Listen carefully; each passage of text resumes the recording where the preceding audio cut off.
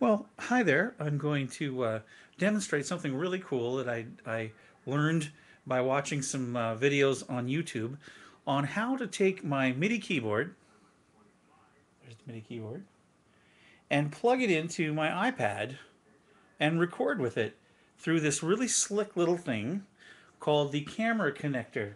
And what it is, it's just a little dealy bobber that you uh, get from Apple.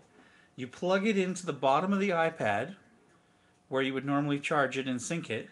Plug your USB cable from your keyboard, which is right here, into the iPad, and then you go over to your, your screen, and then you click GarageBand. Okay, now we've got up right here right now, we've got a bass guitar. Now watch what happens when we use the keyboard with this. We get this sound.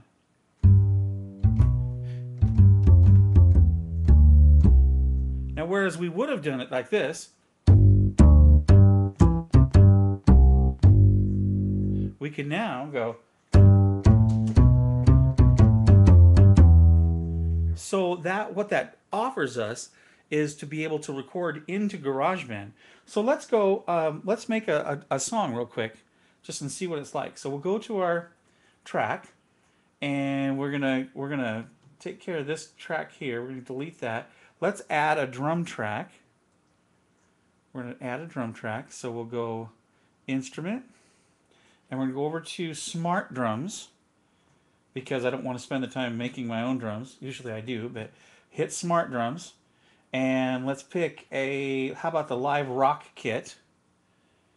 And let's see what we get.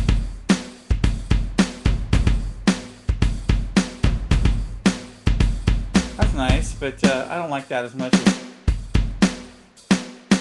Now let's try... I like that. That's nice too. Oh, I like that one. So let's record that. So we go back here and we hit record. And now we'll let it we'll let it play for eight bars or so because we can we'll get we'll get the nice little drum set in there. Maybe we'll even add a little flare at the end. Watch.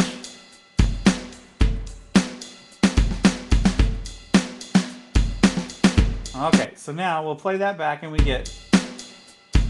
That's nice, huh?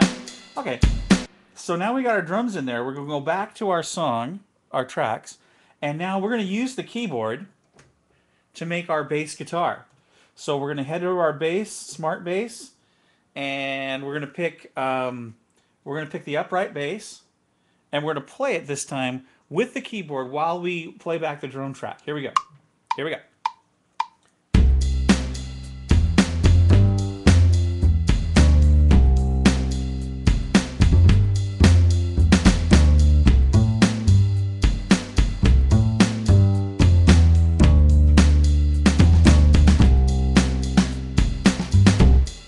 Okay, so what we do now is we just play that back and we'll, what we just did with the keyboard will be on here.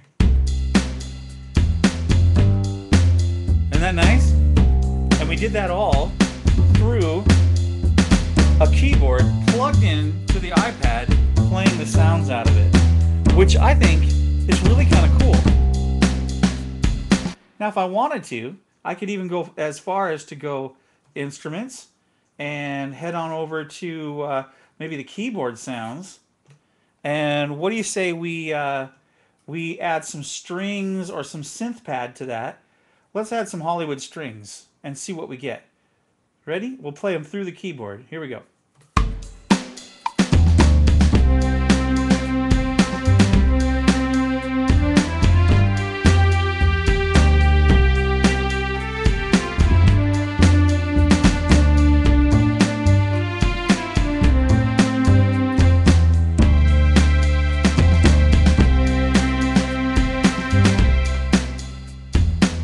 when we play that back?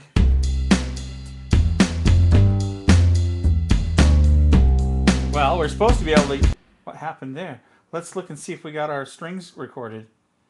Oh, I didn't get them till the very end. I'm so sorry. Let's just do that again. Make sure we're recording on that.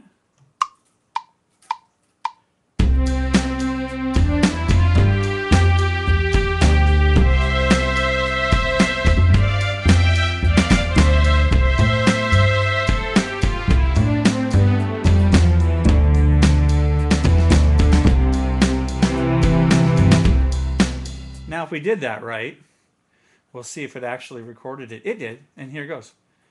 We just back it up and we hit it.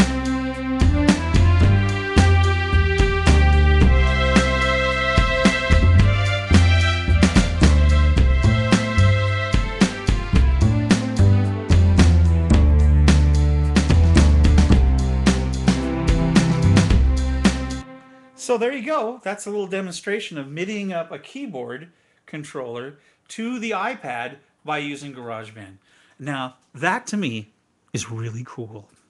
I hope you enjoyed the demonstration.